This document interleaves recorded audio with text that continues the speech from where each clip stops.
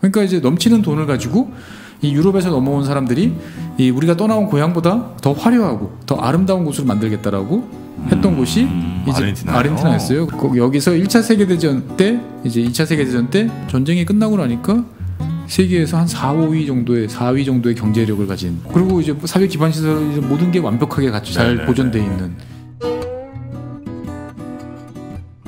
유럽이 유럽이나 미국 국가 입장에서 봤을 때도 야 저 백인 국가고 한때 우리랑 같이 비슷하게 놀던 애가 왜 저렇게 됐지? 좀 측은하기도 하고 어 그럼 아르헨티나는 선진국에서 후진국으로 떨어진 이해할 수 없는 이 일이 벌어지고 있는 도저히 그럴 수가 없는데 예 도저히 그럴 수가 없는데 최준영 박사의 지구본 연구소 36번째 시간이 시작됐습니다. 반갑습니다. 정프로고요. 김프로입니다. 네. 이 프로님은 잠시 해외 출장을 저희가 좀 보내는 상황이고 자가격리인데 그럼? 자가격리에요 자가격리. 자가격리죠. 왔다 갔다 28일이에요. 법무법인 율촌의 최준영 박사님 어서 오십시오. 네 안녕하세요 네. 어서 오십시오. 반갑습니다. 자 우리 최준영 박사님과 함께 아, 요즘 이제 남미 쪽을 또 쓱 돌고 있습니다. 아, 남미에서 지난 시간까지 이제 그러니까. 볼리비아를 갔었죠. 음. 네, 볼리비아를 갔었고 예고를 했습니다. 음. 마지막에 뭐 김프로님께서 좀 하라고 이제 막 계속 등을 떠미셔가지고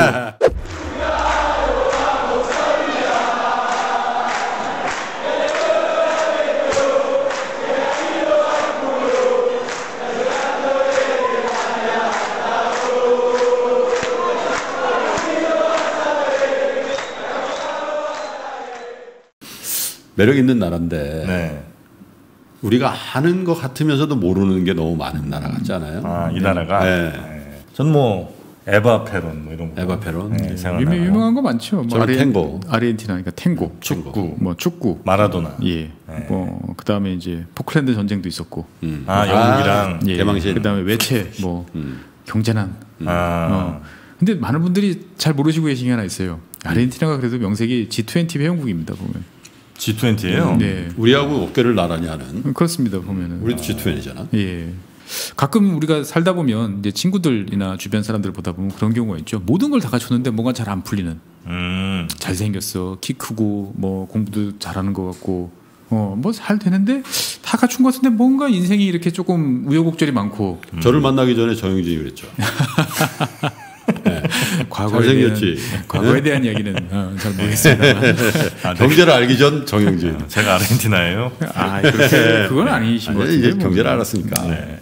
자, 아르헨티나가 하여튼 모든 걸 거의 다 갖춘 것 같지만 이상하게 안 풀리는 나라인 것 같다. 예. 네. 아르헨티나.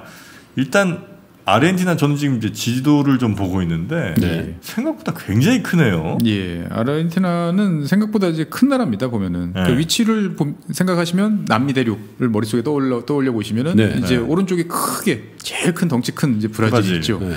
브라질 서쪽이다 생각을 하시면 돼요. 예. 브라질 서쪽에 아르헨티나가 또 덩치가 꽤 볼륨 있게 자리 잡고. 있죠. 굉장히 커요. 예. 브라질이니까 남서쪽쯤 되겠네요. 그렇죠. 그죠? 그다음에 예. 이제 브라질하고 그러면은 아르헨티나 사이에 이렇게 꼭 밤톨처럼 껴 있는 나라가 이제 축구 잘하는 우루과이. 우루과이. 우루과이입니다. 아, 우루과이. 우루과이가 있고요. 예.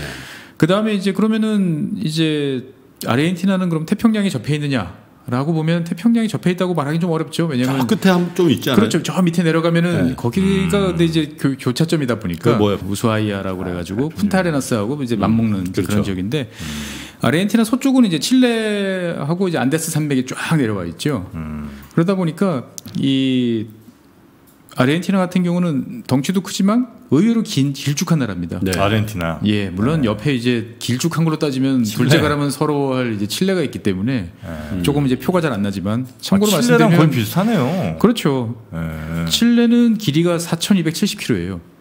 예. 와, 우리나라 10배, 그러니까 남한의 10배 아니야? 그렇죠. 서울 한 부산 서울 부산이 400 400km. 그러니까 그것도 대각선이잖아요. 이렇게 또. 와, 예. 근데 아르헨티나 같은 경우도 3,800km 정도 되니까요. 음. 예, 상당히 이제 길쭉한 나라죠 보면. 네, 네, 네. 그래서 동서는 이제 동서로 따지면 한 1,400km 정도 됩니다. 그러니까 이제 길쭉한 나라고요. 참고로 칠레 같은 경우는 폭은 한 170km 정도 돼요. 그러니까 가늘고 길쭉한 나라는 칠레가 이제 끝판왕 끝판왕이죠 이제 보면. 얘는 뭐 이렇게, 이렇게 태평양 쪽을 다 막아놨어요. 남미 대륙을. 그러니까 이 지형이라는 게 사람이 어떻게 극복할 수가 없는 거잖아요. 보면. 음. 그래서 아, 가끔 산맥이 예. 영선에 저게 영서. 그렇죠. 영동 영서. 영서인데 어. 그러니까 이게 그 미국을 생각해 보면 로키 산맥도 서쪽에 있잖아요. 그렇죠. 근데 로키 산맥은 그래도 캘리포니아 주나 이런 서, 서해안에서 좀 뒤로 이렇게 많이 물러나 물러나 있죠. 음. 그러다 보니까 이, 이 지역에 뭔가 대형 사업도 발생하고 뭔가 사람들이 모여서 음. 뭘 하기가 좋은 이제 그런 지역인데 비해서 네. 안데스 산맥은 정말 바싹 붙어 있다 보니까 깎아질렀구나. 예, 깎아지르다 보니까 네. 이 남미 대륙에서 이제 서한 쪽은 상당히 좀 그런 발전적인 측면에서 보면은 아무래도 좀 한계가 있다. 음. 네, 뭐 네, 이런 네. 생각이 좀 들 때가 있어요. 그러니까, 그러니까 지형을 보면 그런 발전하는 양상을 좀 볼 수가 있는데 당장 우리나라만 해도 영동 지방 그러면은 이제 강원도 영동 음. 제일 중심이 어딜까요? 강릉? 강릉 영동. 강릉이죠. 강릉. 네, 당연히. 근데 왜 강릉일까라고 생각을 해보면 뭐 여러 가지 요인이 있겠지만 동해안을 따라서 쭉 아래 위로 이제 오르내리면서 이렇게 태백산맥을 바라보면 바싹 붙어 있어요. 밑에 쪽에 삼척이나 동해에서 바라보는 이- 맞아요. 예, 바싹 붙어 있는데 네. 이게 강릉 그나마 강릉 좀 쪽으로 가면은 태백 산맥이 저 멀리 보여요. 아, 예, 그나마 쭉 평, 약간 평지가 예, 발생한다. 평지가 많이 있다가 그 다음에 다시 이제 속초 음. 고성 쪽으로 오면 다시 또 바싹 붙는 이런 느낌이 들죠. 그러니까 이제 평지가 많으니까 음. 아무래도 사람들이 물산이 풍부하고 사람들이 모이고 네네. 여기에다가 이제 대관령이라는 그나마 상대적으로 이동하기 편한 고개가 있으니까 음. 이제 한 것처럼 이 남미 같은 경우도 이 안데스 산맥이 어떻게 보면은 여러 가지 어, 많은 것들을 지형이 결정해 참 놓고 있는 것 같아요. 예. 삼척을 삼척 울진에 출장을 몇 번 간 적이 있었거든요. 원전 네. 관련해서 뭐 비즈니스가 있어가지고. 근데 어, 가기가 되게 불편한 거예요. 그래서 거기 있는 분들하고 저녁을 먹어서 아, 저 오기가 불편해요. 그때 그분이 한 얘기가 삼척 울진이요. 이 손을 뒤로 하면은 여기 있는 거예요. 여기. 비유가 절묘하시네요. 직선으로는 별로 멀지가 않은데 이게 워낙 가파른 산 바로 밑에 있기 때문에 이게 뒤로 해서 이게 불편하잖아요. 이른 네. 비유를 했는데 그게 딱 와닿더라고요. 맞습니다. 보면. 등 한가운데 쪽에 있다. 네. 아, 그러다 보니까 이제 이 남미 지역들은 땅도 크고 네. 그 다음에 이제 산이라는 어떤 이런 게 있, 기 때문에 그- 뭐 도로 교통이 잘 발달해 있지 않아 가지고 네.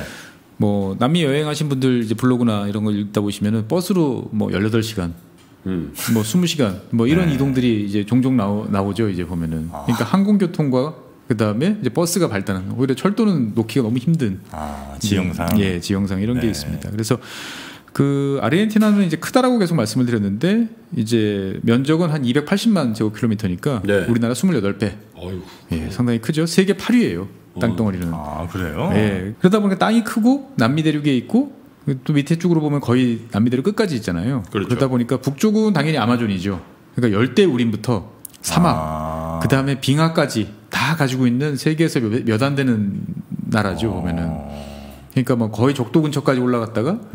그 다음에 밑으로 내려오면은 이제 빙하 빙하도 있는 어. 예뭐 나중에 말씀드리겠지만 아르헨티나는 백인 동네고요. 음. 어, 네네. 부에노스 아이레스 같은 경우는 이제 그 남미의 파리 음. 이렇게 불리던 정도로 음. 멋있고 어, 발달한 이제 그런 지역이었다라고 생각을 하시면 됩니다. 보면. 여기가 수도인가요? 예 부에노스 아이레스가 이제 수도죠 보면. 아, 아르헨티나의 수도 예. 부에노스아이레스. 예. 아르헨티나를 이제 보면 지도를 보시면은 네. 지도가 쭉 밑으로 내려와서 점점 이제 남미 대륙 끝이 좁아지잖아요. 네, 그러다 네. 보니까 이제 쭉 좁아집니다. 그 좁은 땅을 칠레랑 끝까지 이제 막 땅 담아 깨듯이 네. 피쭉 내려오다가 중간에 땅이 끊겨요. 네. 네. 예. 이거 제일 밑에가 이제 보면 왜냐면 이제 연결된 게 아니고 원래 섬이에요. 맨 끝에가. 아. 예. 티에라 델푸에고 섬이라고 그래가지고 큰 섬이 하나 있죠 보면은. 네. 근데 이 섬도 섬도 나눴네. 섬도 나누는데 섬을 나누다 보니까 직선으로 쭉 걷다 보니까 칠레가 많이 가져갔죠. 아르헨티나 네. 땅은 상대적으로 좀 작고 아, 그러네. 보 또 국경선을 이렇게 직선으로 또 여기. 아, 칠레는 참 그 그때 누가 그 협상을 하고 막 그걸 했는지 참 얄밉겠네.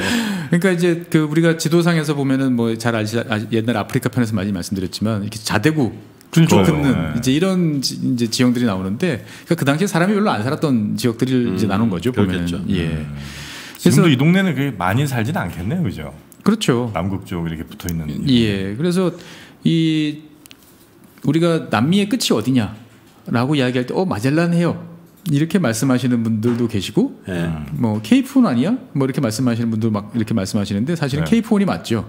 네. 이 마젤란 해협이라는 것들은 그 남미 대륙 본토하고 그 다음에 티에라 델푸에고 섬 방금 이제 말씀드렸던 이 섬을 연결하는 좁은 해협을 마젤란 해협이라고 음. 이야기를 하는 거예요. 아. 예. 마젤란 해협이 여기예요. 예, 여기입니다. 한참 위네. 마젤란이 이제 여기를 돌면서 어 근데 이 남대서양 어마어마하게 이제 거친 바다거든요. 네. 근데 여기를 지나서 이 마젤란 해협은 또 좁습니다. 상당히 상당히 예, 네. 좁고 위험해요. 근데 어쨌거나 이거를 계속 바다를 따라서 남쪽을 끝까지 끝없이 내려갈 것 같은 대륙을 타고 가다가 드디어 딱 돌아가지고 태평양으로 나가니까 음. 너무나 평안하고 아 그래서 태평인가? 그래서 태평양이에요. 너무나 평화로운 거예요. 이제 지옥 같은 아. 곳을 헤치고 나오니까 네네. 어, 탁 트인. 하지만 태평양도 지옥이긴 마찬가지였죠. 왜냐하면 생각보다 너무 커서. 음. 가도 가도 끝이 없고. 예. 네. 그래서 이제 어, 마젤란 해협 이야기는 조금 이따 다시 해드릴 텐데 네. 어쨌거나 이 아르헨티나 같은 경우는 우리가 아르헨티나 근데 미국 분들은 뭐 아르헨티나 이렇게 이야기를 합니다 네, 네, 보면은 그래서 어, 정식 명칭은 이제 아르헨티나 이제 공화국이고요 음. 아르헨티나라는 뜻은 이 라틴어로 보면은 은이 아르겐툼이라고 그럽니다 음. 아르겐. 예 아르겐툼 뭐 이제 이렇게 이야기를 하는데 은이 많은 나라라는 뜻이에요 은의 땅 아. 예, 실버 네 네 네 네. 그래서 이 당시에 그러면 정말 은이 많느냐? 그건 사실 아닌데 이제 스페인 사람들이 처음에 들어왔을 때 이 아르헨티나하고 우루과이 사이에 경계를 하고 있는 라플라타 강이라는 큰 강이 있습니다. 네. 이강 상류에 어마어마하게 큰 은광이 있었구나. 은광이 있다라는 전설 같은 이야기가 있어서 아. 예. 있는 건 아니고. 예, 있는 건 아니고. 그래서 이 동네를 가르쳐 가지고 이제 은혜 땅, 뭐 음. 이제 이렇게 이제 불렀어요 보면은. 아. 그러다가 이제 이게 나라 이름으로 바뀌면서 네. 이제 아르헨티나가 됐죠 이제 보면은. 음. 그래서 은이 상당히 많았을 것 같은. 사실 사람 피부들은 이제 은처럼 이제 반짝이는 백인들이 많습니다 보면. 네. 예. 이 좀 여긴 뭐 제3세계까지는 아니겠습니다. 하여튼 제3세계 여러 나라들 보면 그냥 서양인들이 지들 편하게 그냥 예. 부르는 게 나라 이름, 나라 이름 도시 이름 되는 거죠. 이렇게 원래 뭐것 같아요. 누가 불러주느냐에 따라서 그리고 누가 많이 쓰느냐에 따라서 그 네. 이름이 이제 결정이 되는 뭐 사람도 그렇지 않습니까? 뭐 본명도 있지만 별명 다 부르다 보면 어, 그게 이제 본명처럼 느껴지는 것처럼. 나라뿐만 아니라 그 지역을 보면은 다 거기 여- 예를 들면 뉴자 붙여가지고 다 그렇게 했잖아. 네, 뉴욕. 뉴욕, 어? 예. 뉴 잉글랜드, 그렇죠. 뭐 다 그렇게 한 거 아니에요? 네. 뭐 런던이라는 지명도 여기저기 있고요. 그러니까. 보면. 네네. 그래서 어쨌거나 이 뭐 아까 마- 방금 말씀드렸던 라플라타 강이라는 강은 이제 아마존 강만큼은 아니지만 네. 매우 큰 강이에요. 그러니까 이제 아르헨티나하고 우루과이 사이의 강인데 네. 여기 보면은 전체 합하면 한 5천 킬로 조금 안 돼요. 예, 크죠. 그리고 이제 하구라고 그러죠. 바다랑 만나는 쪽 폭이 네. 한강도 이제 저 일산 넘어서 김포에 가 보면은 넓어지죠. 어, 되게 넓어지는데 이 라플라타 강 같은 경우는 한 200km 넘어요. 폭이요? 예, 폭이. 그러니까 이제 이 하구 쪽에 가면 이게 바다인지 강인지 이제 구별이 안 되는 거죠. 이제 네. 예, 물 떠먹어 봐야 아는 거죠. 어, 물 떠먹어 보면 아 이게 민물이네. 와, 예. 어마어마하네. 그래서 이 강을 사이에 두고 이제 우루과이 수도인 이제 몬테비데오 네. 그 다음에 부에노스 아이레스가 이제 다 있는 거죠. 이제 강가에 다 이제 자리 잡고 있습니다. 강 하구에. 예. 바다랑 접하는 곳 쪽에. 예. 그러니까 네. 남미를 상징하는 여러 가지 단어들이 있지만 느낌이 아 여기 무조건 커. 크다라는 어떤 그런 남미? 단어로 예. 뭐 특히 자연적인 것들 보면 음. 뭐 커- 크고 거대하다. 뭐 이런 느낌이 참 많이 들어요. 폭포도 제일 큰 게 남미에 있죠. 이과수 폭포요. 이과수. 음, 예, 이과수 폭포. 어, 폭포 있고 이과수 폭포는 이제 그 아르헨티나하고 브라질 이제 경계에 있습니다. 아, 보면은. 그렇습니까? 예, 그래서 이 영화 기억하시면 조금 나이가 좀 있으신 분들 이제 영화 미션. 미션. 예, 선교사 1980년대에 제가 나오던 대학교 1학년 때 본 것 같은데. 예, 김프로님 대학생 때 저는 네. 이제 중학교 중학생 때 이제 아 그걸 또 꼭 굳이. 그 배경이 이제 그 이과수 폭포죠 보면은 그래서 세계 3대 폭포다 뭐 제일 유명한 폭포 나이아가라 폭포 그다음 빅토리아 폭포 그다음에 이과수 폭포라고 그러는데 제가 2011년인가요 그때 이제 남미에 갔을 때 그때 이제 니카라 갔을 때 그 대사님께서 네. 이제 그 이 이쪽 브라질 총영사 쌍파울로 총영사를 하시다가 이제 대사로 오셨는데 그런 말씀하시더라고 이과수 폭- 정말 그 이과수 폭포를 뽑아가지고 어디 딴 데도 던져버리고 싶었다고 왜요? 이제 요즘에는 그런 일이 없어졌는데 예전에는 너무나 많은 분들이 네. 이과수 폭포를 보려고 이제 굳이 출장을 이제 오시는 거죠 이제 남미까지 거기까지 찾아오는 거지. 예, 귀찮다, 찾아오시는데 이제 좀 네. 파워가 있으신 분들이 오시는 건데 영접해야 돼. 이게 시- 아르헨티나 쪽에 가서도 볼 수도 있는데 굳이 꼭 부- 우리나라 대한민국 분들은 이과수 폭포 그럼 브라질 가야지라고 생각하니까 아. 주구장창 이제 다 이제 오시는 거고 어 그러다 보니까 이제 그거를 접대하고 영접하고 뭐 해야 되니까 네. 음 나중에는 꼴도 보기 싫어서 저 저 폭포 뽑아가지고 아 모시고 또 거기까지 갔다 와야 되고 뭐 예. 식사 대접하고 하려면 그렇죠 이게 어, 뭐 어쩌다 한, 한 번이면 재미 재밌을 수도 있는 일인데 지겹지. 예. 그래서 이제 이 이과수 폭포 같은 경우는 이제 폭이 한 2.7km 네. 이요 높이 한 80m 되는데 이 나, 폭포들 같은 경우가 여러 가지 특징이 있는데 나이아가라 폭포 같은 경우는 이제 하나죠. 이렇게 그렇죠. 큰 이제 큰 말구평으로 이렇게 예, 말구평으로 이렇게. 되어 있는데 비해서 이과수 폭포는 이제 그 한 200개 정확히 말하면 한 270여 개의 폭- 폭포 들이 이렇게 서로 군을 얽혀. 있어요. 예, 군을 이루고 있는 거예요 보면은. 그러다 보니까 느낌이 좀 이제 상당히 다르죠. 보면. 네 네 네. 상당히 다르고 뭐 다음번 기회 되면 말씀드리겠지만 여기는 원래 파라과이 땅이었어요. 원래는 예.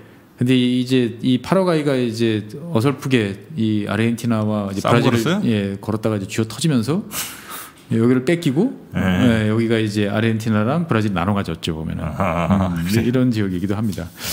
어쨌거나 이 아르헨티나는 여러 가지 참 신기하고 재밌는 게 많은데 네. 저는 아르헨티나 국기가 보면 참 그렇게 어릴 때부터 뭔가 신비롭고 저도 그렇던데 아르헨티나하고 브라질이 나는 항상 브라질 같은 경우는 가운데에 축구공을 넣어야 좀 더 브라질스러운 아, 근데 뭐 이렇게 좀 색깔도 좀 그렇고 막 이렇게 촥 거기 문자도 있고 그렇잖아요. 음, 브라질은 예. 네. 그러니까- 아르헨티나는 뭐죠? 아르헨티나는 이제 이 아르헨티나 선수 축구 선수 유니폼 하늘색, 하늘색 하늘색, 하늘색, 하늘색. 흰색이잖아요. 네. 그러니까 삼색이에요. 하늘색, 흰색, 하늘색. 그러니까 네. 색깔은 두 가지인데 네. 이제 하늘색이 아, 두 가지? 들어 있는 거죠. 두 개 들어 있고 음.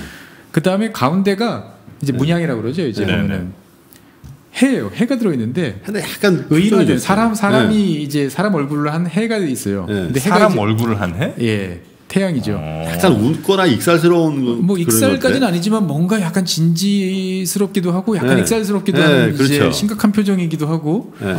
어 근데 이제 또 햇살을 또 이렇게 또 다 표시를 해줬죠 네. 이글거리는 태양을 진짜 독특하다. 예, 독특하지. 상당히 독특하죠. 네. 예, 칼라는 뭐 익숙했는데 아 가운데 예, 칼라는 저희가 이제 축구를 보다 네. 보니까 되게 익숙한 칼라인데 가운데 이 문양을 보면 아 되게 어릴 때부터 신기했어요. 얘네는 그러면 이제 우리는 저 국기 그리기 어릴 때 이제 뭐 하잖아요. 네. 여기 아르헨티나 친구들은 포기해야 되지 않을까요? 국기 이거 못 그리겠는데. 어, 다 각도가 아마 어디 있, 있긴 할 것 같은데 난 하면서 옛날부터 그랬어. 인도네시아하고 참 폴란드는 진- 쉽겠다. 딱 반 접어가지고 딱 해서 반점에서 빨간색 하얀색이면 되잖아. 그래서. 뭐 당연히 이제 하늘색은 하늘을 상징하는 거고 네. 흰색은 이제 땅을 상징하는 건데 이게 이제 1812년에 이 독립 투쟁을 주도했던 이제 마누엘 벨그라노라는 장그 음. 장군님이 네. 이- 이런 이 칼라를 좋아하셨던 모양이에요. 어 그래서 이제 하늘색 그 네. 옷을 그래가지고 이제 그렇게 됐고 이 사람 모양의 얼굴 태양은 이제 세 보면 32개예요. 음. 아 태양의 햇살이 예, 햇살이? 햇살이. 네. 예. 그래서 이게 이제 이게 들어가게 된 이- 이유가 이제 뭐 최후의 승리를 거둔 날에 하늘이 개고 어, 태양이 축복을 주셨다. 뭐 이런 식으로 이제 독립 투쟁의 어떤 그런 거를 상징하는 이제 그런 거죠. 그러니까 어떻게 보면 국가를 상징하는 그 국기로 보면은 저는 1등에 주고 싶어요. 1등 주고 싶어요. 아르헨티나 국기를요? 예. 그러니까 드넓은 땅, 아주 그 평평하고 드넓은 땅이라는 그 하고 그다음에 햇살. 어, 이게 아주 딱 그 국기를 보면 아 이 나라 되게 햇빛이 쨍쨍할 것 같은 아, 그런 느낌이 들지 매우 않습니까? 직관적으로. 예. 너무 헷갈리고. 그래서 아르헨티나 분들도 이 국기를 되게 좋아하시는 것 같아요. 뭐 아니면 국경일을 만들려고 그랬는지 모르겠으나 음. 매년 6월 20일은 이제 국기의 날입니다. 국기의 국기의 날. 날이 예. 어쨌거나 우리 태극기 날 없잖아요. 우린 그냥 국경일에 그냥 태극기 거는 거는 거죠. 건데 뭐. 예. 여기는 따로 이제 국기를 이제 그렇지. 예, 국기를 기념하는 기념하는 날이 있어요. 따로 있든 신기하네. 지금 상당히 매력적인 네. 이제 이런 이런 나라인 것 같고요 보면은 그래서 뭐 아까 이제 지형이나 이런 걸 이제 쭉 말씀을 드렸는데 이 남아메리카에서 제일 높은 네. 남, 남미 대륙에서 제일 높은 산이 이제 아콩카과 산이라고 있는데 네. 해발이 한 7,000m 가까이 돼요. 와. 6,900m 좀 넘는데 남미에 그렇게 높은 산이 있어요? 그럼요 안데스 산맥 제가 말씀드렸잖아요. 안데스 산맥은 막 그 가보면 무서워요. 우리가 히말라야 산맥이 이제 원체 이제 8,000 레벨로 네네네. 올라가니까 이제 음. 안데스 산맥이 잘 이제 인- 음. 인 정이 안 되는 거지. 안데스 산맥도 정말 거대하고요. 그렇겠네. 예. 그리고 무서워요. 히말라야는 실제로 뭐 바다하고 멀리 떨어져 있잖아요. 음, 그렇습니다. 실제로. 근데 예. 안데스는 칠레 쪽에서 보면은 바다에서 뭐 얼마 해발에서 얼마 안 멀어서 쫙 올라갔을 거 아니야. 예, 그러니까 이제 뭐 4천, 6천 뭐 그러니까. 예, 예전에 뭐 각 국가 수도가 뭐 4,000m, 3,000, 4,000 이렇게 되잖아요. 그러니까 네. 뭐 6천, 7천까지 올라가는 거죠. 아. 그래서 안전사 산맥은 저는 좀 상당히 무서웠던 네, 그런 네. 그런 기억이 나고요. 그래서 이제 아까 그 남 제일 남쪽이 어디냐라고 했을 때 이제 제가 약간 헷갈렸는데 네. 그러니까 아르헨티나 제일 남쪽 네. 어떻게 보면 전 세계에서 가장 남쪽에 있는 남극하고 가장 가까운 도시가 이제 그 우수아이아라고 우수아이야. 예, 우수아이아라고 그래가지고 이 남미 대륙에 가시면 이제 여행하는 것 중에 하나가 빙하, 빙산, 빙하를 이제 구경하는 게 있는데 네. 이제 이쪽까지 이제 가십니다 보면은. 그래서 그 이 우수아이아 같은 경우는 저- 여기서 1,000km만 가면은 남극이에요. 남극 대륙이 나와요. 예. 아. 그래가지고 이제 남극 대륙 요즘에는 이제 뭐 아, 운행 다 중단했겠지만 그 남극 대륙 근처까지 가는 그 유람선 여객도 여기서 가요. 예 우수아이아나 푼테 아레나스 이런 쪽에서 이제 음. 그 우수아이아는 사실 뭐 여객선이 다닌다기보다는 사람들이 빙하를 보러 가, 많이 가고요. 이제 대도시 주변에서 출발해가지고 이제 남미를 또- 저기 남극 대륙을 바라보고 이제 이런 코스도 있어요 보면. 네, 은 네, 그래서 이 우수아이아라는 곳까지도 우리나라 관광객들이 꽤 많이 가셨어요. 원래 한국 사람들은 중간이 없잖아요. 한번 가면 끝까지. 끝까지 가자. 뭐 매운 걸 먹어보면 이제 그 핵불닭 뭐 이런 것까지 만들어 보듯이 한번 이제 끝까지 가보자. 뭐 이렇게 하시는지 의외로 남미에 가신 분들이 우수아이아까지 가신 분들이 많아요. 보면. 우리나라 관광객들이 최근에 그 예. 강한을 하고 안재용 하고 또 한 명 누군가 가- 갔다 왔어요. 여기를요. 네, 텔레비전 나왔다니까. 그래서 참 이제 많이 가죠. 우수아이아 같은 경우는 샌프란시스코랑 비슷하다. 저도 사진으로만 보면은 네. 그런 느낌이 들더라고요. 왜냐면 이제 산 산이 이제 많다 보니까 네. 산이 있고 바닷가에 이제 있고 그러다 보니까 언덕이 많은 이제 네. 그런 느낌이 좀 이제 들었고 이 우수아이아하고 그다음에 그 밑에 쪽 남쪽 그 바다를 가리키는 또 해협이 하나 있는데 여기가 비글 해협이에요. 비글. 비글. 예, 비글. 비글이면 저기 아닙니까? 그 저 다윈이 타고 그렇습니다. 가던 예. 네. 다윈이 이제 세계일주 네. 했던 그 배가 비글호. 예, 비그로예요. 네. 그래서 이 비그로가 여기서 이제 여기를 지나 아. 갔었죠. 이제 보면은 음. 그래서 이제 그 이름을 따가지고 이제 이 명명을 이제 했던 거죠. 그러니까 음. 찰스 다윈이라는 사람하고 어떻게 보면 아르헨티나하고도 연관성이 사실은 좀 있어요. 원미를 말하면 아르헨티나라고 해야 되나요? 뭐 그렇게 볼 수도 있, 남미 쪽하고. 네. 그러니까 이제 그 바다를 쭉 여행을 이제 음. 하면서 뭔가 이제 그 사실은 다윈이 그 배를 탄 이유가 음. 선장 말동무를 하려고 탄 거예요. 그러니까 이 배라는 것들은 선장은 왕이잖아요. 네. 예, 계급으로 따지면은 이 선원들하고는 천한 것들하고는 레벨이 달라야 돼요. 음. 그러다 보니까 보통 그럴 때를 대비해서 이제 선장들은 좀 말동무를 태워요? 말동무, 어, 말빨 좋고 어, 아는 거 좀 많고 어, 어. 이런 친구들을 이제 태우는데 이제 다윈이 이제 가게 된 거죠 보면은. 어. 근데 생각해 보면 다윈 같은 사람은 되게 팔자가 좋아, 좋, 좋잖아요. 다윈이 무슨 경제 활동을 열심히 했다. 뭐 이런 이야기는 못 들어보셨잖아요 보면. 다윈이 예, 뭐 아인슈타인만 해도 그래도 먹고 살려고 그 스- 어디야 스위스 그 특허청에서 이제 일을 하면서 주경 야독한 거잖아요. 음. 낮에는 거기서 돈 벌고 밤에 어. 근데 다윈이 무슨 뭐 해서 돈 벌었다는 이야기는 사실 거의 없어요. 음. 원래 이제 금수저 집안이었던 네네. 거죠. 태어나기도 그렇게 태어났고. 예, 근데 그 영국에서 많은 금수저들이 이제 태어나고 그 사람들이 발명가라든지 음. 무슨 과학자라든지 이런 걸 많이 했어요 보면은. 네네. 근데 그 사람들 금수저가 끝난 게 이 아르헨티나 때문에 끝난 거예요. 왜요? 이 금수저 집안의 특징들이 뭐냐면은 대부분 이제 교구 목사의 자제들, 네. 어, 그러니까 내 땅을 가지고 이제 이- 이- 네. 농장을 가진 건데 단순히 그냥 뭐 밀농사 짓고 이런 농장이 아니고 거기에 소도 키웠던 거죠. 그러니까 음. 복합 영농을 아, 소 했는데 수입을 했구나. 소가 이제 상당히 비쌌던 거죠. 이제 네, 네. 그러다 보니까 이제 이거를 곡식도 팔고 소도 팔고 그러니까 음. 되게 안, 안정적으로 내 수익이 들어오니까 나는 우아하게 이제 무슨 연구나 과학 음. 활동, 철학, 예술 이런 걸 할 돈이 들어왔었는데 음. 어느 날 갑자기 기술의 발달로 냉장선과 냉동선이 등장하면서 이 남미 대륙에 넘쳐나는 소들이 이제 유럽으로 마구마구 밀려 들어오기 시작을 한 거죠.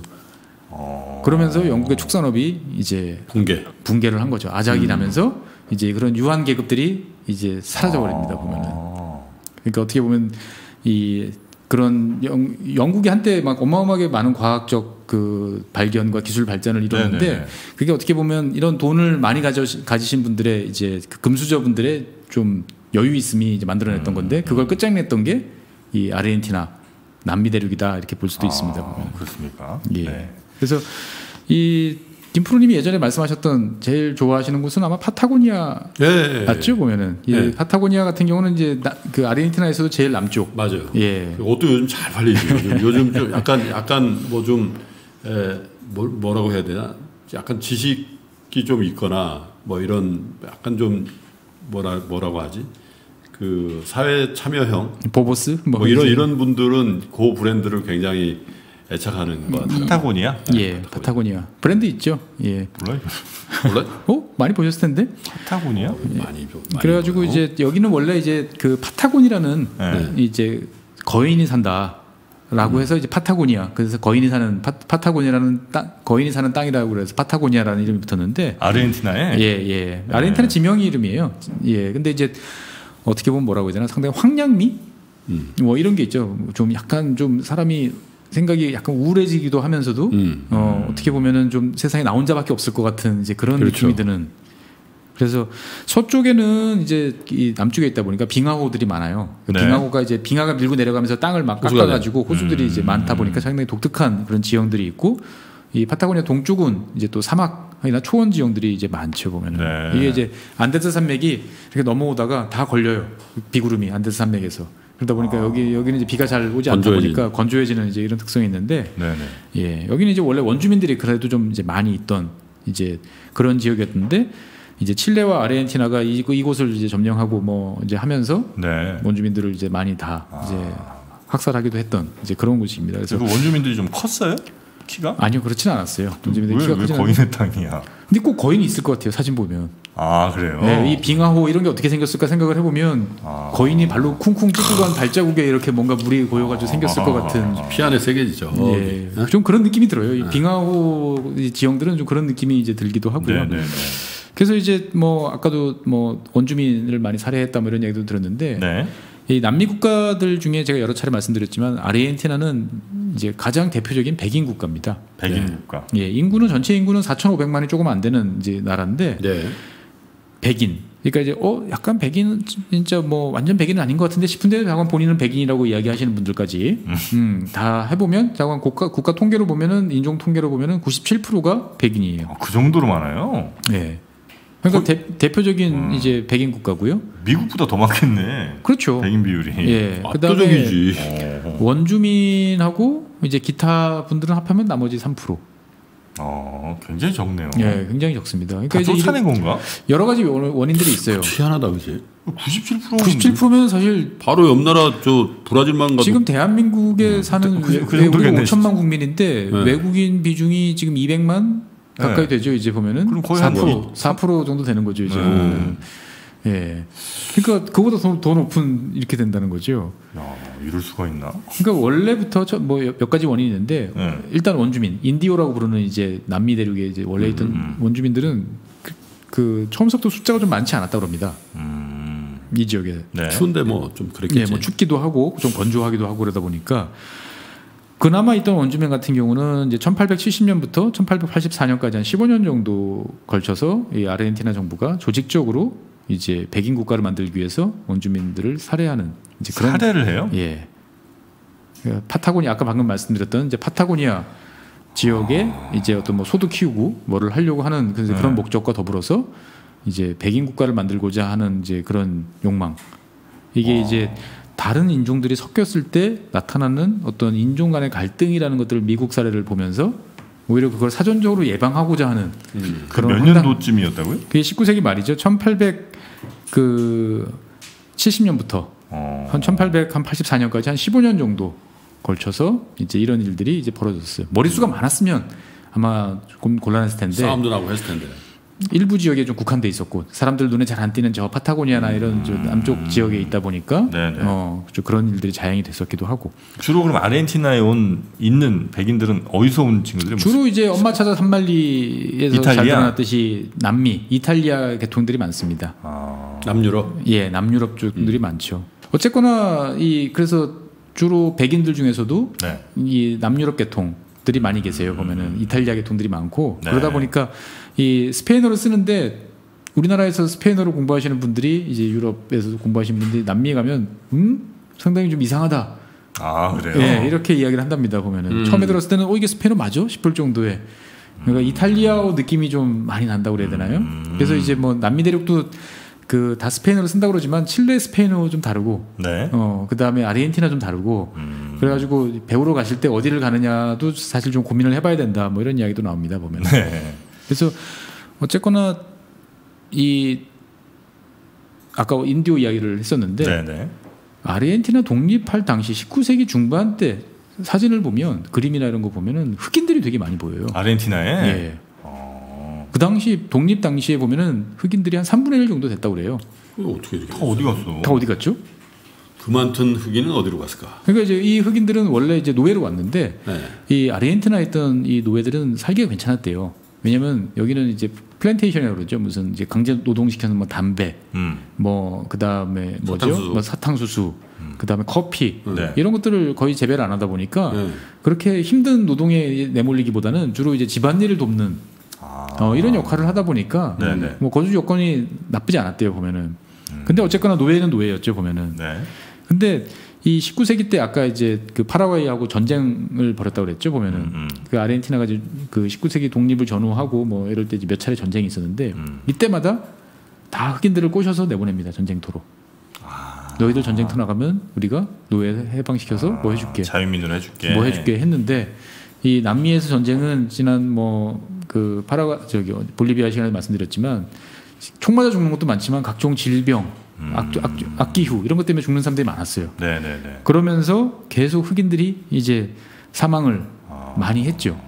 그러면서 이제 아, 아프리카로부터의 유입은 줄어들고 사망은 하는데 있- 하는데다가 백인들이 계속 유입이 되면서 네. 섞여요. 어, 혼혈이 이제 이제 일어나는 거죠. 네네네. 어, 그럼 혼혈이면 그게 어떻게 되는 거지라고 하는데 이제 백인 비중이 높은데 흑인 비중이 낮아지면서 혼혈이 생기다 보니까 이게 이렇게 보면은 어 백인인 것 같아 정도로 되는 거죠. 그래서 엄밀히 말하면은 이 아르헨티나에서 인종 구분해 보면은 뜨리게뇨라는 이제 인종 구분이 있어요. 띠리게뉴? 예, 밀 뭐예요? 피부색이라고 밀 밀가루 같은 밀 밀이 약간 이제 그 누리끼리 하잖아요. 가루를 만들기 전에는 아 밀 나다를 보면은 아. 약간 누리끼리한데 자관 뭐 대충 하얗게 보이기도 하고 보면은 통밀. 예. 그래서 이런 그 뜨리게뇨라는 인종을 만들어서 여기다가 다 밀어넣어 버리는 거예요. 그냥 대충 백인 범주 안에 다 밀어넣어 버리는 거죠. 아, 얼추 백인. 얼추 백인. 예. 그러니까 이제 흑인 입장에서 봤을 때는 내가 흑인이요라고 막 주장해서 얻을 수 있는 이득이 없기 때문에 너 음. 저기 뭐야 뜨리게뇨지 그러면 아 맞아요. 어 이러면서 다 그렇게 넘어가다 보니까 어 그러면 이제 서로 속으로 알아도 제 뭐 조상은 흑인이었어라고 알아도 뭐 굳이 그걸 이야기하는 것보다 그냥 그냥 그냥- 백인으로. 예 그래가지고 흑인이 없어졌다기보다는 이제 투명화됐다 아. 뭐 이렇게 표현하시는 분들도 계시더라고요 보면 네네네네. 아, 뭐 증조 할아버지 때 한 분 정도 이렇게 흑인 계시고 뭐. 예, 그렇죠. 경우들이. 보면 거슬러 올라가면 그러니까 유전자 검사를 요즘에 해보면 전체 인구의 한 7, 8% 정도는 흑인이다? 흑인 자손이다. 뭐 이렇게들 아. 나온다고 합니다. 보면. 아, 그럼 여기는 인종 차별이 심하겠네요. 아, 않나? 있죠. 그래서 남미를 여행하시는 분들한테 보통 이런 이야기를 많이 하시더라고요. 이제 네. 아르헨티나가 이 백인 우월주의 감성이 좀 있, 있고 하다 보니까 음. 어좀 그런 거에 대해서 좀 미리 알고 가야 된다. 음. 뭐 이런 이야기들을 하시는 분들이 많으세요 보면은. 근데 뭐 치안은 그래도 뭐 나쁘지 않은 편이고요. 네. 예. 근데 어쨌거나 백인 비중이 가장 높은 그리고 백인이 살기 기후가 괜찮아요. 음. 그래서 제가 예전에 말씀드렸죠 한번 그 축구에서 브라질하고 아르헨티나 차이. 아 예. 브라질이 브라질은 덥고 습하고 예 그래서 그러다 보고 그 다음에 이제 혼, 혼혈. 혼혈 비중이 높고 예. 그러다 보니까 이제 모래밭에서 모래사장에서 뛰는 개인기 위주의 어, 순간적으로 치고 나가는 어떤 이- 이런 축구가 발달한 데 비해서 이 아르헨티나 축구는 선선하고 쾌적하고 어, 탁 트인 초지가 많다 보니까 이제 달리고 음. 빠르고 달리고. 예 이런 느낌의 어떤 그런 축구를 이제 많이 한다라고 이야기를 했었던 기억이 네네네. 있습니다. 그래서 아르헨티나가 백인 비율이 이렇게 높은 줄은 백인 국가예요. 대표적인 백인 국가입니다. 보면. 그러니까 전 세계 어디보다도 백인 비율이 높네요. 예, 비율로만 따지면. 음, 그렇죠. 자, 그러면 아르헨티나 계속해서 한번 좀 음, 얘기를 좀 들어볼까요? 네. 아르헨티나 저번에 왜 한번 예. 저전 세계는 선진국과 후진국 그리고 일본, 예. 아르헨티나 이렇게 나뉜다고 하셨었잖아요. 예, 예, 이거 맞습니다. 이건 무슨 의미입니까, 정확하게? 이게 이제 찾아보면은 되게 많이 나오는 이야기예요. 뭐 선진국, 후진국 구별은 다 알겠고 음. 일본도 뭐 그래 뭔가 좀 독특하죠. 우리가 잘 알다시피 일본이라는 나라가 되게 독특한 나라지 않습니까? 네, 네. 네. 근데 아르헨티나가 도대체 왜 끼어드느냐 음. 이런 이제 신기한 생각이 드는데 네. 이 말을 하신 분은 사이먼 쿠즈네츠라는 네. 유명한 경제 경제학자입니다. 음. 쿠즈네츠 곡선 뭐 이런 표현 혹시 맞아요. 뭐 들어본 것 들어보신. 분도 네. 계시고 이분은 이제 노벨 경제학 노벨상 받았죠, 네, 노벨상 노벨상. 받으신 분이에요. 보면 음. 원래 출신은 지금 이제 벨라루스 출신인. 그러니까 소련에서 이제 처음에 활동을 하시다가 이제 미국으로 이제 넘어가신 이제 이분인데 이 양반이 어마어마하게 큰 업적을 남기셨죠. 뭐예요? 우리가 흔히 말하는 GDP, 아, GDP를 이 사람이 만들었어요? 예, 국민소득 개정이라고 하는 거를 이 양반이 만든 거예요. 어. 그래서 요즘에 이제 보면은 우리가 뭐 정부에서도 계속 발표하는 게 뉴딜 음. 뭐 이런 거 하잖아요. 네. 뉴딜이 나온 이유가 이제 대공황 때지 않습니까? 보면은 네. 대공황 때 이제 미국 그 재무부나 통계청 이 관계자들이 이분을 찾아간 거예요. 뭔가 해야 돼- 하긴 해야 될 것 같은데 음. 뭐가 얼마만큼 좋아지는지를 알 수가 없습니다. 아. 그 측정하기가, 통계가 없잖아요. 예. 어, 국민 소득이 올랐는지 어, 경제가 잘 돌아가는데 그러면 도대체 얼마나 잘, 잘 돌아갔는지 음. 이 정책 효과를 파악을 해야 되는데 네. 이거를 파악할 방법이 없습니다. 음. 했더니 이 양반이 고민을 하다가 그러면 내가 그걸 계산하는 법을 알려주겠소. 만들어 보겠어. 예, 그래서 네. 그게 흔히 말하는 GDP 어려운 말로 하면은 국민소득 개정이라는 거를 이제 만든 거죠. 그러고 나니까 딱 계산을 해서 정부 입장에서 봤을 때는 우리가 이번에 이런 정책을 피니까 어 GDP가 5%, 네. 어3% 올랐어. 그리고 국민들한테 이야기를 하는 겁니다. 보면은 음. 음, 경제 성장이 이만큼 경제. 이만큼 됐어. 어 그러다 내려갔어. 그러면 아 이거 뭔가 더 돈을 풀, 풀던지 조치를 취해야겠구나. 그 우리는 지금 너무나 당연하게 생각하는 이 국민소득 네. 뭐 2만 불 시대, 3만 불 시대가 다 이 쿠즈네츠라는 이분한테 나왔던 건데 뭐 여러 가지 이야기를 하시는 와중에 세계는 선진국과 후진국, 일본, 아르헨티나 네 가지로 나뉜다. 그럼 선진국은 알고 네. 후진국도 아는데 일본과 아르헨티나가 여기 왜 들어갔냐면은 네. 100년 만에 그러니까 한 세기가 안 돼서 음. 개도국에서 후진국에서 선진국으로 간 나라가 있고 음. 그건 어느 나라일까요? 일본. 일본이죠. 그럼 아르헨티나는 선진국에서 후진국으로 떨어진 이해할 수 없는 이 일이 벌어지고 있는 이 두 나라를 가리켜 가지고 이렇게 표현을 하신 거예요. 어, 도저히 그럴 수가 없는데. 예, 도저히 그럴 수가 없는데 아니, 후진국에서 선진국 되는 건 뭐 어떻게든 뭐 그럴 수 있다고 쳐도 아 후진국에 선진국 되는 것도 사실은 그것도 쉽지 않나요? 거의 없어요. 그러니까 대한민국 우리나라 분들이 어, 요즘엔 좀 많이 없어지지만 게- 되게 자학을 많이 하셨는데 세상에 이런 나라 없어요. 딱 두 나라 있어요. 이렇게 50년, 60년 때 계속 성장을 해가지고 음. 어, 선진국, 후, 개도국에서 옛날에는 이제 후진국이라고 그랬죠. 요즘 네네네. 개도국이라고 표현하는데 여기서 선진국까지 간 나라 두 나라 있죠. 대한민국하고 대만. 대만. 예. 음. 그러니까 이제 시기를 어떻게 잡느냐의 문제긴 한데 네네네. 이제 이 쿠즈네츠 이 양반이 봤을 때는 이제 19세기, 음. 20세기 이렇게 놓고 보면은 이제 일본이 이제 선진국으로 확 올라갔는데 네. 선진국에 있던 20세기 초반까지 선진국에 있던 아르헨티나는 밑으로 내려왔다 이거죠 이제 보면 음. 어떻게 이런 일이 있을 수 있느냐 네. 어, 이게 경제 체제 경제 운영 뭐 이런 여러 가지 면에서 봤을 때 음. 상당히 특이한 나라다라고 네. 얘기하는 거죠 언제 얼마나 잘 사는 거예요, 아르헨티나는? 아르헨티나 같은 경우는 이제 유럽 20세기 초반 이럴 때는 유럽 대륙에서도 잘 없던 백화점이 부에노스 아이레스 시내에 있었고요 음. 예 그러니까 아까 말씀드렸잖아요 파리라고 네네네. 어, 그러니까 이제 넘치는 돈을 가지고 이 유럽에서 넘어온 사람들이 이 우리가 떠나온 고향보다 더 화려하고 더 아름다운 곳으로 만들겠다라고 했던 곳이 이제 아르헨티나요? 아르헨티나였어요. 그래가지고 아르헨티나 사람들 농담에 그런 게 있어요. 신이 이제 너는 어느 나라, 너는 어느 나라 이제 태어나라라고 네. 막 할당을 주다가 갑자기 애가 정신을 번쩍 차려 보니까 저는 어디로 가야 돼요? 그래가지고 넌 남미 그랬더니 저 싫은데요. 음. 그래서 막 개- 개기고 있다가 아르헨티나인데 그랬더니 아 그럼 갈게요. 라고 할 정도로 음. 이제 어떻게 보면 이제 유럽 선진국하고 맞먹는 이제 그러한 자본을 가지던 나라가 아르헨티나였어요. 아니 근데 그 20세기 초반에 예. 예를 들면 무슨 저소 키우고 뭐은 캐내고 이건 사실 선진국의 모습이라고 하기 그러니까 좀 잘 살 수는 있지만 네. 그렇게 막 선진국은 아닐 거 아니에요. 그러니까 선진국이라는 게 여러 가지 조건이 있지만 네. 일단은 그 당시 생각해 보면 두 가지 조건이 있어야 되는 거죠. 선진국이라는 것들은 일단 백인이 많아야 되고요. 백인 국가여야 되고 아하. 예. 두 번째는 돈이 많으면 되잖아요. 근데 아, 네. 돈이라는 것들은 결국은 먹고 살아야 되는 이제 이 문제를 이제 해결하려고 하는 게 민생구가 제일 중요한데 네. 식량이 제일 컸죠 보면. 아, 그 풍족하고. 예, 그러니까 그 산업혁명 이후에 인구들이 폭증을 하지 않습니까? 보면 네. 그 폭증한 인구들이 농업에 동사하는 게 아니고 다 대도시로 몰려왔잖아요. 음. 그럼 이 사람들이 이제 밥 먹고 살아야 되는데 네. 그러면 그 어디서 식량을 갖고 오겠어요? 아르헨티나. 남, 그러니까 미국 대륙이나 북미라든지 남미나 네. 자관 여기서 이제 갖고 오는 거죠 보면은. 음. 근데 그 중에서도 남미 대륙이 이제 핵심 핵심적인 역할을 이제 했던 네네. 거죠. 그리고 이제 아르헨티나 같은 경우 원래 그렇게 해서 20세기 초반서부터 잘 살다가 남들의 불행은 나의 행운. 음. 아, 남미 전쟁. 대륙은 1, 2차 세계 대전에 단 한 발의 포탄 한 아, 발 정도. 떨어졌구나. 이거 아까 이제 말씀드렸던 그 저기 어디죠? 라프라타 강. 네. 거- 여기서 1차 세계 대전 때 이제 2차 세계 대전 때 이제 그 해전이 벌어지긴 했어요. 왜 독- 여기 와서 해요? 그러니까 이제 독일 그 군함을 쫓아가지고 영국 애들이 이제 여기까지 이제 쫓아 들어온 거죠. 이제 보면은. 아, 그래요? 그래가지고 이제 이 앞에서 이제 해전이 벌어질 이제 상황이 되니까 이 아르헨티나 사람들이 구름처럼 이걸 보겠다고 구경하러? 구경하러 이제 아, 예, 몰려들기도 했, 전쟁 했었던. 전쟁 구경. 그런데 진짜 포탄 쏘네, 뭐 이런 거. 그러다 보니까 나는 손상 손상 받은 게 아무것도 없는 거예요. 어. 그리고 전쟁을 해도 총알보다 더 필요한 건 뭐겠습니까? 결국 먹어야 돼요. 네. 그리고 먹여야 되니까 그럼 어디서 갖고 와야 돼요? 어느 나라 국, 국적 불문하고 이 미국 남미 대륙에서 갖고 올 수밖에 없는 거잖아요. 보면은 네, 그러니까 비싸지겠네.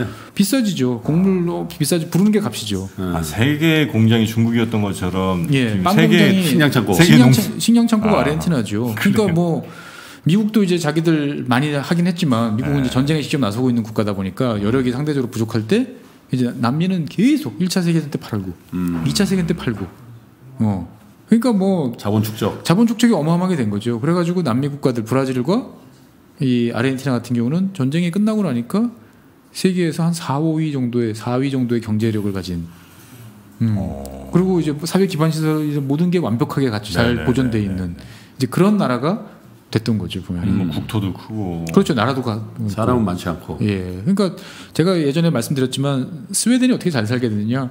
1, 2차 세계대전 때 다 중립을 음. 유지했잖아요. 남들 막 쥐어 터지고 싸울 때 필요한 거 다 팔고 네네. 어, 복구할 때 또 팔고 나는 복구할 거 하나도 없이 그냥 다 시스템을 유지하면 되니까 그러니까 그런 기회를 잡았던 나라였던 거죠 이제 그래서 한 1900한 50년대 60년대 계속 잘 살다가 잘 살다가 이제 언제부터 꼬꾸라지는 그 거예요? 이후부터 계속 꼬꾸라졌죠 아. 예 그러니까 이제 뭐 정확히 언제냐라고 하면은 이제 나중에 말씀드릴 뭐 페론 대통령 음. 페론주의 뭐 이, 이런 게 나오면서 막 이제 파퓰리즘 막 퍼주고 네. 어 이제 여러 가지 이제 이유들이 이제 등장을 하게 되는데 음. 어떻게 보면 우리나라니까 이 아르헨티나가 걸어온 길에 대해서 아유 너희들 잘못했어 어쩌쩌쩌 이렇게 이야기를 하는 거지 네. 사실 대부분 나라들이 비슷한 길을 걸었어요. 어. 어, 그 차이가 좀 아르헨티나가 극적일 큰 거지. 극적일 뿐이지 음. 음, 다 비슷한 길을 걸었습니다. 뭐 브라질, 뭐 동남아시아. 왜냐면은 어느 나라가 네. 첫 번째 독립을 했어요. 어, 내가 나라를 만, 만- 만들어서 이제 운영을 해야 돼. 음. 그럼 첫 번째 일- 할 일이 뭐겠습니까? 국민들이 굶지 않고 잘 살 수 있도록 음. 해줘야 돼요. 네. 그 다음에 그러기 위해서 이제 농업이나 축산 이런 것들이 이제 잘 발달을 해야 음. 되고 그 다음에 거기에 들어가는 각종 이제 사회가 운- 운영되기 위한 공산품들이 필요 필요하지 않습니까? 뭐 네. 비누도 있어야 되고 치약도 있어야 되고 칫솔도 있어야 되고 네. 뭐좀 더 나가면 라디오 뭐 음. 이런 것도 있어야 되는데 이런 것들은 외국에 내가 비싼 돈을 주고 내가 힘들게 힘들어 키운 농산물 축산물을 음. 비싼 돈 주고 사와야 되는 거예요. 네. 그래서 많은 정부들이 그 돈이 아까 아깝다 보니까 이제 공업화를 선택을 하는데 네. 공업화의 목적은 야 우리가 어떻게 저 선진국한테 물건을 팔어 이거는 생각도 못한 일이에요. 선진국에서 우리가 사오는 물건을 대체할 수준만큼만 만들자라는 생각을 했던 거죠 보면은 네, 네, 네.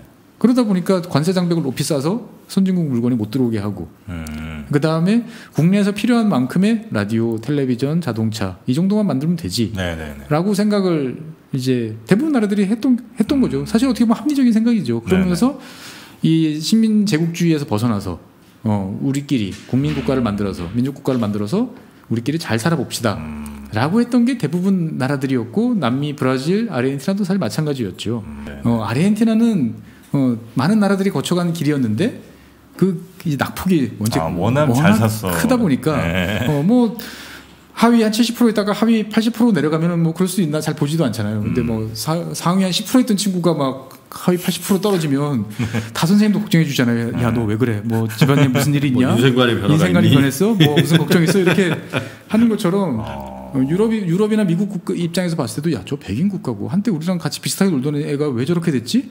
좀 측은하기도 하고 어, 그 우리가 이제 97년 IMF 98년 때 이렇게 겪었잖아요. 네. 아르헨티나가 그 당시 그때 상황이었어요.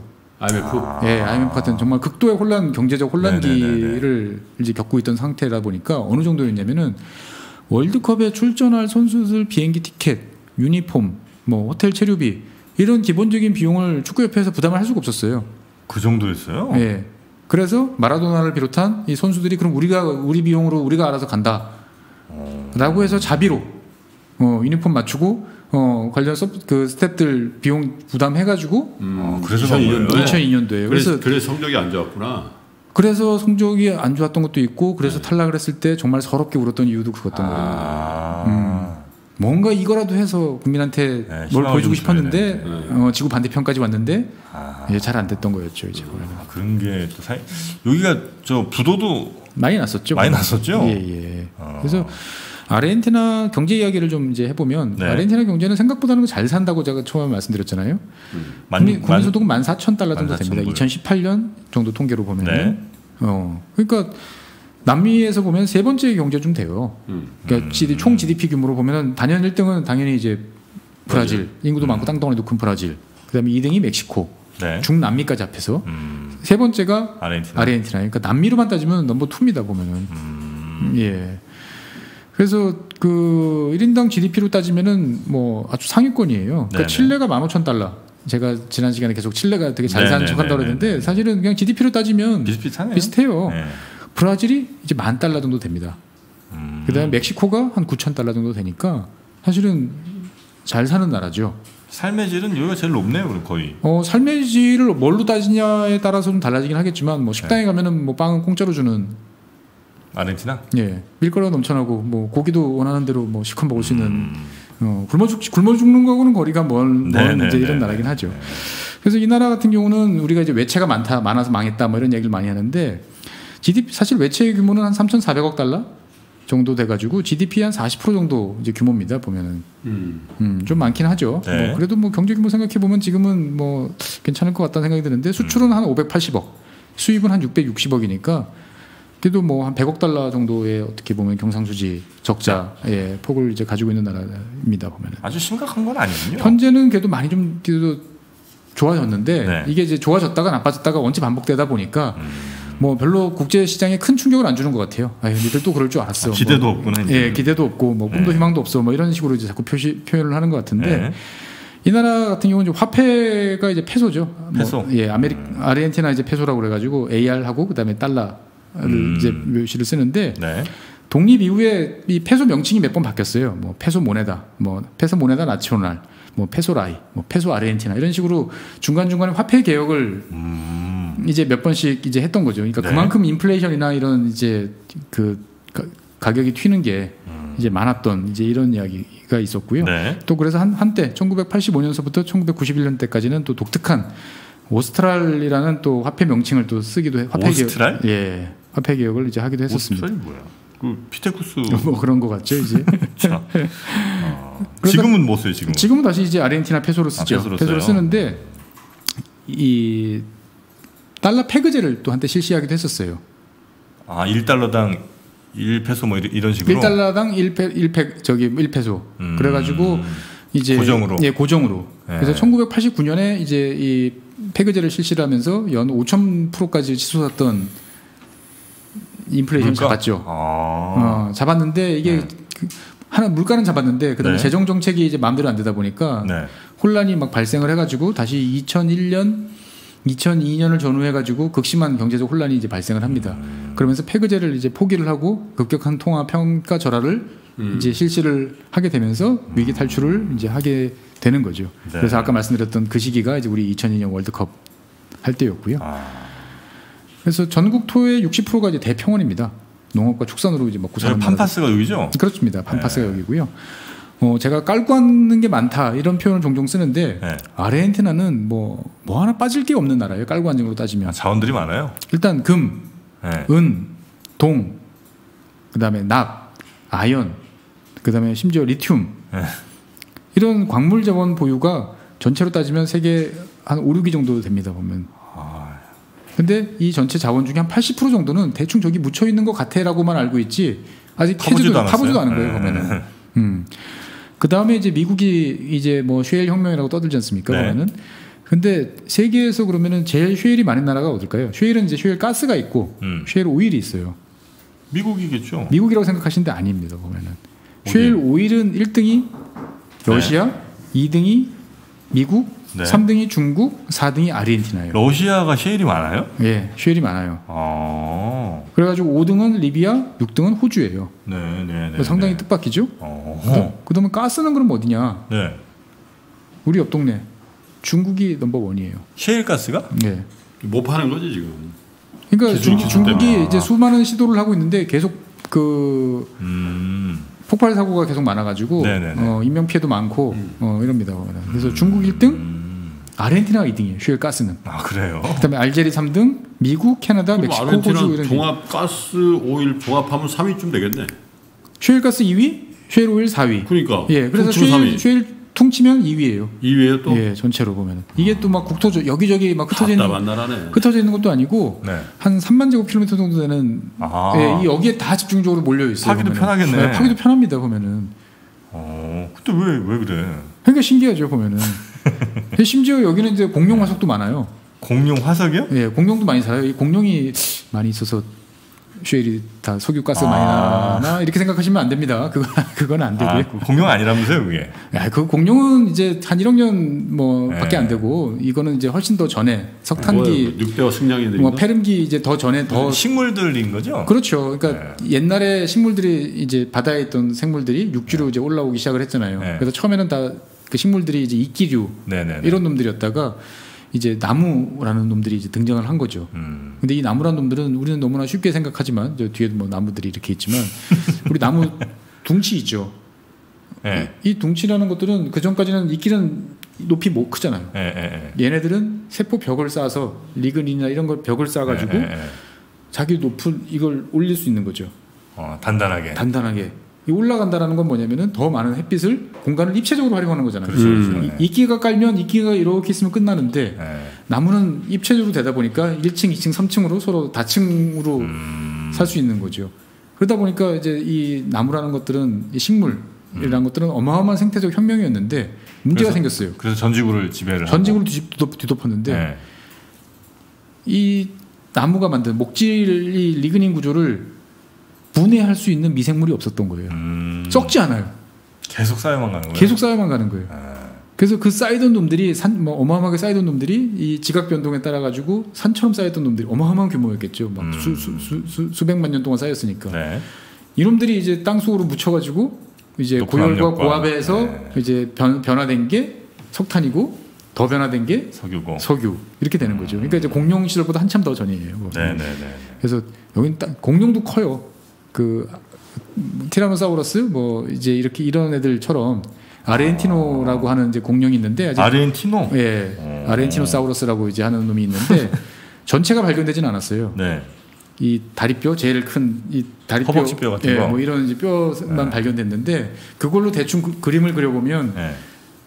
이제 뭐 몸무게 100톤은 훌쩍 넘어가는 세계 최대 공룡일 아. 거라는 게 확실한. 예. 어. 예, 물론 이제 화석을 가지고 이제 그리면 되게 틀리게 잘 그려요. 그래서 지금 공룡뼈, 아니 고래뼈를 주고 사람들한테 그려보라 그러면 이상하게 그립니다. 이제 이렇게 음. 튼실한 살집 있는 애들이 아니고 이렇게 되게 슬림한 아. 그런 애들이 그리긴 하는데 어쨌거나 네. 뭐 심지어 공룡도 많은 이제 이런 나라였고요. 네. 이 아르헨티나를 쭉 이렇게 박사님과 함께 여행을 하다 보니까 우리는 이러면 안 되겠다 이런 생각이 좀 들기도 하고요. 음. 어, 어쨌든 뭐 아르헨티나의 그 흥망성쇠는 또 저희가 어, 시간을 또 내서 그럼요. 네, 우리 경제 얘기도 좀 더 들어봤으면 음, 좋겠고 예. 네. 농업 이야기 네. 재밌는 게 많습니다. 아 농업 이야기 쪽에 예. 네. 또 전쟁 얘기도 또 빠뜨릴 수 없지. 예. 어, 에바페론도 한번 가야죠. 에바- 페론도 가고. 포클랜드. 거의 뭐한 4, 5주 아, 가야 아니, 한달 워낙- 가야 될 것 같은데요. 워낙. 나라가 크고 하니까. 예, 스토리도 많고요. 거기. 네, 그러죠. 네. 알겠습니다. 그러면 아르헨티나 이어지는 이야기는 다음 시간에 또 계속 듣도록 하겠습니다. 자, 오늘도 저희를 또 남미 대륙에 굉장히 컸던 나라 그리고 아주 잘 살았던 나라 음. 그리고 백인 비중이 압도적인 지나치게 높은 음, 아르헨티나 소개해 주신 우리 법무법인 율촌의 최준영 박사님 대단히 고맙습니다. 네, 고맙습니다. 감사합니다.